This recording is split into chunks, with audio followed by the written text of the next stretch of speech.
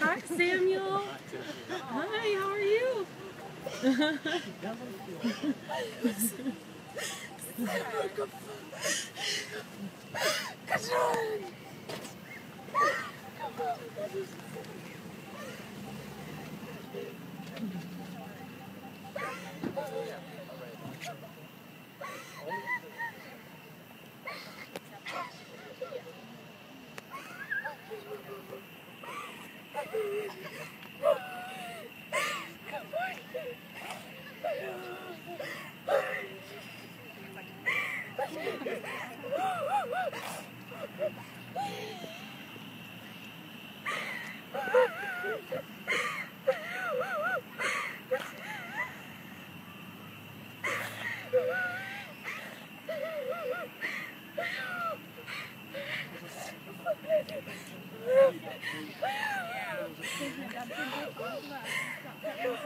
Can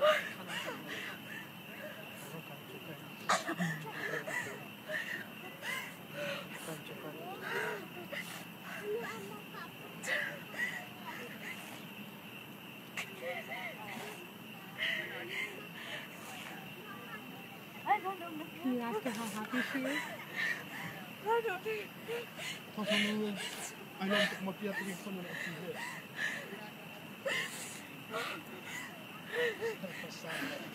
Yeah. Love her mom. Yes,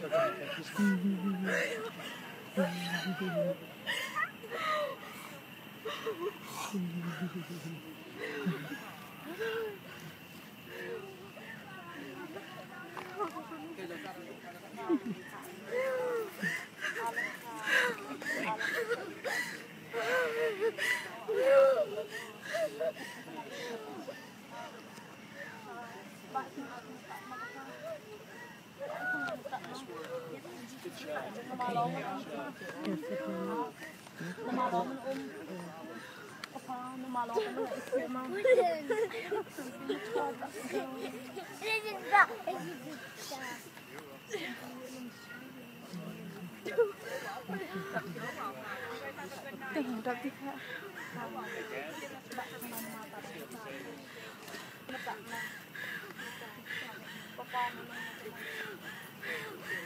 Thank you. Hấp búa sắp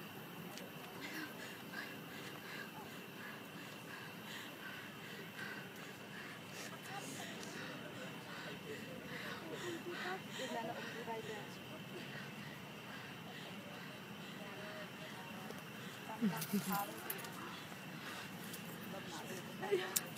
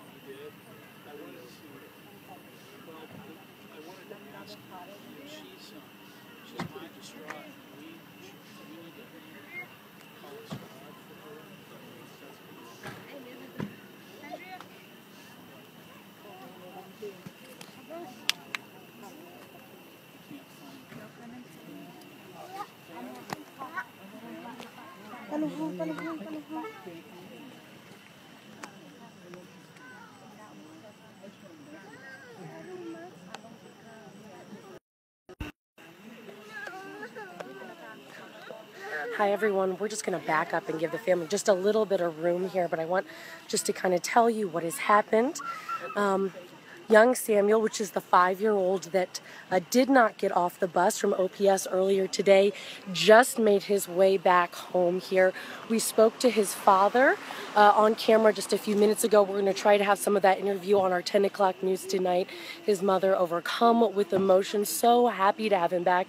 I'm sure any parent can imagine just how terrifying that is when you have a, any child, but especially one so young as five year old, not to get off the bus and then just not know where they are. But again, thankfully, the child has been found. Uh, we have been trying to get answers from OPS tonight. Uh, they tell us the five year old remained on the school bus and didn't get off.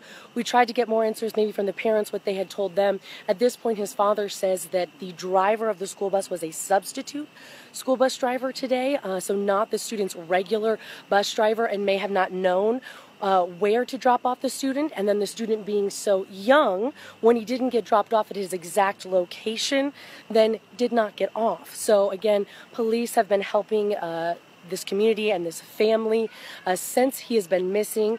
And again, he's been found. He just uh, got reunited again with his mother, his father, and there is a large community here supporting this family very much. Uh, very much so. Again, they have expressed their thanks to me in this situation, but just overcome with emotion very much tonight. You saw again getting out of the police car, his father immediately going and hugging and picking him up, and then his mother even more emotion collapsing on the ground. So we decided to kind of give them a little bit more space now that we've caught that moment of them reuniting.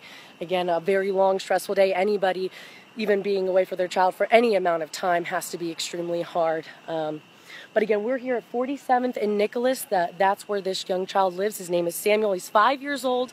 And again, we're going to start putting together now uh, this story for the 10 o'clock news. I know we got a lot of you on there, about 800 and people, and I, I love all the likes and all the hearts because it is one of those stories, thankfully, that now has a happy ending. But we're going to work hard to get answers as to why this even happened to begin with. One thing I know OPS has said tonight is that it is unacceptable, and I think most people can agree with that very much so. We do have John Grenice at a OPS school board meeting right now trying to get answers on that end. We're here with police and the family getting answers on this end. So we'll have that full coverage for you guys tonight at 10 o'clock and just, just a few minutes away. But thank you so much for tuning in again.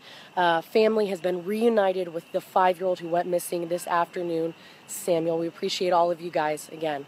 Thank you so much for reporting here live on 47th and Nicholas. Aaron Murray, WOWT 6 News.